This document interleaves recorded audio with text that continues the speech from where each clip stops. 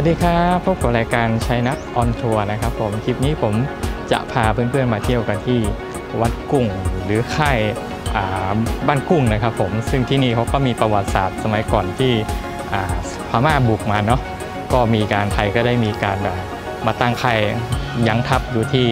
ที่บางกุ้งที่วัดล้อมรอบของวัดบางกุ้งแห่งนี้เนาะแล้วก็ยังมีพระพุทธรูปศักดิ์สิทธิ์แล้วก็โบสถ์ศักดิ์สิทธิ์ที่ห่อถูกห่อหุ้มไปด้วยรากต้นโพและต้นไทร เดี๋ยวชัยนัท on tour จะพาไปชมบรรยากาศกันท่องเที่ยวไปด้วยกัน ตรงนี้ก็เป็น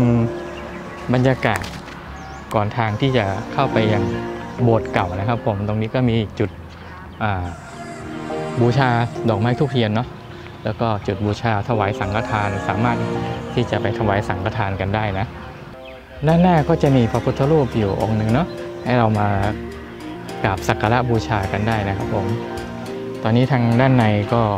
กำลังถวายสังฆทานกันอยู่เนาะก็มีพระมารับสังฆทานกันอยู่ตรงนี้ด้วยนะครับผมก็เข้ามาในนี้นะครับ ก็ต้องถอดรองเท้าเนาะแล้วก็ไปกราบสักการะบูชาก็ทูบเทียนบูชานะครับ ผมก็ต้องจุดแล้วก็วางไว้ที่ด้านนอกนะครับผมด้านในก็น่าจะเอาดอกไม้ไปถวายได้นะครับ ส่วนทูบเอาปักไว้ที่ด้านนอกเนาะตอนนี้ทางวัดนะครับเขาก็เชิญชวนร่วมบุญแล้วนะ อุโบสถหลังเก่านะครับ ตามกำลังศรัทธานะ ที่นี่ก็จะมีเป็นรูปปั้นต่างๆ เกี่ยวกับการฝึกทหารเนาะอ่าศิลปะแม่ไม้มวยไทยอยู่ด้วยเดี๋ยวผมจะพาเพื่อนๆไปชมกัน พระอุโบสถที่นี่นะครับเขาก็จะถูกต้นไทรนะครับห่อหุ้มอุโบสถเก่าไว้นะครับ ผมยึดไม่ให้อุโบสถพังทลายลงมาเนาะก็เป็นอุโบสถเป็นโบสถ์เก่าแก่นะครับ ผมที่มีความสวยงามมากเลย ทางด้านหน้านะครับก็มีทหารยืนเฝ้าหน้าประตูอยู่คนหนึ่งนะครับผมหน้าตาเกรงขามนะครับผมคนโบราณยุคโบราณก็น่าจะหน้าตารูปทรงใหญ่โตประมาณนี้เนาะต้นไม้ที่ยึดกับอุโบสถนี้ไว้มี 4 ต้นนะครับ ก็คือต้นโพต้นไทรต้นไก่แล้วก็กลางนะครับ ผมอายุกว่า 200 ปีนะครับ อยู่ที่ตำบลบางกุ้ง ความสูงของโบสถ์ก็อยู่ที่ประมาณ หรือต้นไม้รวมรวมกันก็อยู่ที่ 25 เมตรนะครับ เป็นต้นไม้อัศจรรย์สามารถเจริญเติบโตร่วมกับปกคลุมและรัดล้อมโบสถ์ไว้ได้นะครับ ผมก็เป็นสิ่งที่สวยงามนะแล้วก็ยังรักษาโบสถ์ไม่ให้พังทลายลงมาด้วยนะครับผมก็อยู่ไม่ไกลมากนะครับ จากวัดหลวงพ่อหลวงพ่อบ้านแหลมมาเนาะอยู่นี่ก็ประมาณไม่กี่กิโลครับ สามารถมาได้ 10กว่าโลก็จะมีผู้มีจิตศรัทธานะครับ มาทำบุญกันอยู่เรื่อยๆเนาะ วันนี้ที่ผมมาก็เป็นวันธรรมดานะครับผมก็ยังมีคนเข้ามาเรื่อยๆนะครับผมยกเว้นช่วงนี้คนจีนไม่ค่อยมีเท่านั้นเองครับ ส่วนที่นี่ยังไม่เห็นฝรั่งเนาะฝรั่งยังไม่เห็นมาที่นี่เลย ก็ที่นี่นะครับโบสถ์ที่นี่ก็คือสุภาพสตรีที่นุ่งสั้นเหนือเข่ากรุณาใส่ผ้าถุงก่อนเข้าโบสถ์ด้วยนะครับ ก็ติดต่อขอยืมได้ที่เจ้าหน้าที่นะครับ ก็ไม่ได้คิดค่าบริการใด ๆนะครับ ทางด้านทางเข้าก่อนจะเข้านะครับ ผมก็มีพระสังกระจายนั่งให้เรา มาปิดทองมาปิดเหรียญกันได้นะครับ มาทำบุญตรงนี้ได้ด้วย ก็จะมีเป็นผ้าถุงอย่างนี้นะผ้าสโลงสำหรับคุณสุภาพสตรีนะครับที่ใส่กระโปรงหรือว่ากางเกงขาสั้นก็ขอยืมทางเจ้าหน้าที่ได้นะครับผมเดี๋ยวเราไปกราบสักการะบูชาหลวงพ่อที่อยู่ในวิหารในโบสถ์กันเนาะพื้นที่นี่เป็นพื้นหินอ่อนนะครับ เห็นไหมว่าทำเป็นหินอ่อนเย็นเลยนะครับผม แล้วก็ด้านในประดิษฐาน พระพุทธรูปองค์ใหญ่นะครับ ก็น่าจะเป็นพระพุทธรูปสมัยโบราณเนาะทรงแบบนี้น่าจะเป็นพระพุทธรูปที่เก่าแก่นะครับ ในส่วนตรงนี้ก็จะเป็นคาถาบูชาหลวงพ่อนินมณีนะครับ ผมถ้าอ่านผิดต้องขออภัยเพื่อนๆเลยนะครับ ก็สามารถเก็บไปท่องกันได้นะครับ ผมตามที่ผมแผนให้ดูนะครับ ผมสามารถเอาไปท่องกันได้ ก็เราสามารถที่จะขึ้นไปปิดทองกับองค์หลวงพ่อได้นะครับ ผม ตรงนี้นะ ตรงนี้แต่ก็ห้ามขึ้นไปถ่ายรูปนะครับผม สามารถที่จะมาเก็บภาพวิดีโอทางด้านล่างนะทางด้านบนให้ขึ้นไปแปะปิดทองเฉยๆนะครับ ถ้าเพื่อนๆท่านไหนนะครับสนใจจะมาที่นี่นะครับ ผมก็อยู่ไม่ไกลเนาะแหล่งท่องเที่ยวที่สมุทรสงครามเนี่ยจะอยู่ใกล้ ๆ กันนะครับ ผม ก็ส่วนเพื่อนๆท่านใดถ้าไม่ได้มาด้วยก็ฝากผมขอพรขอชัยเนาะสิ่งใดที่เพื่อนๆขอกันก็ให้สมหวังทุกประการนะครับ สาธุก็จุดทางด้านนอกนะครับ ผมเขาก็จะมีระฆังนะครับ ให้เราตีด้วยนะครับ ทางด้านขวาก็จะเป็นพระพุทธรูปปางต่างๆนะตามวันเกิดเราก็สามารถที่จะมาหยอดเหรียญทำบุญกันได้เนาะใส่บาตรด้วยเงินด้วยเหรียญเนาะเดี๋ยวผมจะพาเพื่อนๆ ไปชมรอบๆโบสถ์กัน แล้วก็ไปชมกันว่าที่ค่ายบางกุ้งเนี่ยเขามีรูปปั้น แล้วก็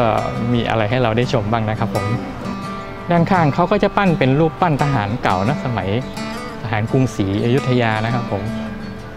ตรงนี้ก็จะมีเป็นกำแพงวัดเป็นโบสถ์นะครับที่ต้นโพต้นไทรต่างๆ ที่ผมได้อ่านข้างต้นเนี่ยเขาปกคลุมนะครับ ล้อมกำแพงไว้เพื่อไม่ให้กำแพงหรือว่าหลังคาหรือว่าอุโบสถพังทลายลงมานะครับผม ที่วัดเขาก็จะมีที่จอดรถมากมายเลยครับดูนะครับ สามารถจอด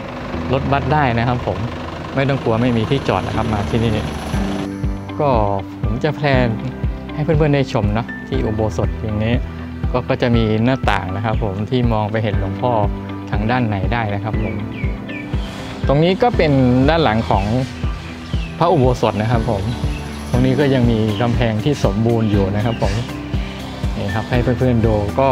ได้ข้อมูลจาก ชาวบ้านแถวนี้เนาะเขาก็บอกว่าที่นี่อายุมากกว่า 500 ปีมาแล้วนะครับผมนี่ครับ ดูเหมือนขลังดีนะครับ อุโบสถที่นี่ ตรงนี้ก็มีเป็นจุดแม่นางไม้มนทาทิพย์นะครับ ผมจันเจ้านะครับ วงเล็บไว้ก็สามารถที่จะมาขอโชคขอลาบกันได้เนาะใครขออะไรสิ่งใดสมความปรารถนาก็จะมีเครื่องบวงสรวงเครื่องที่บนไว้นะเป็นชุดไทยเป็นอะไรประมาณนี้ครับผม ก็น่าจะได้สมความปรารถนากันเยอะนะ ดูจากการที่เอาชุดมาถวายนี่เยอะมากเลยครับ ตรงนี้ก็เป็นจุดทางด้านข้างอีกฝั่งหนึ่งนะครับผม ก็เขาเขียนไว้ว่าห้ามขึ้นถ่ายรูปเป็นนายแบบนางแบบบนขั้นบันไดนะครับ ผมและขอบหน้าต่างนะครับ ถ้าฝ่าฝืนนะครับ ผมเขาก็มีโทษปรับด้วยนะครับ ผมโทษปรับอยู่ที่ 500 บาทนะครับ ก็ต้องระวังกันด้วยนะครับ มุมนี้ก็เป็นมุมสวยอีกมุมหนึ่ง ที่มองไปเห็นองค์พระอยู่ทางด้านในเนาะที่กำแพงห่อหุ้มไปด้วยต้นโพต้นไทรนะครับ สวยงามมากเลย ทางด้านข้างกันนะครับ ผมผมเห็นก็จะมีเป็นพวกหุ่นที่ปั้นเป็นการฝึกแม่ไม้มวยไทยเนาะเดี๋ยวผมจะพาเพื่อนๆไปชมกันครับ ตรงจุดนี้ก็จะเป็นส่วนของอค่ายบางกุ้งนะครับผมก็จะมีปั้นเป็นรูปปั้นที่ฝึกเป็นแม่ไม้มวยไทยต่างๆนะครับ ผม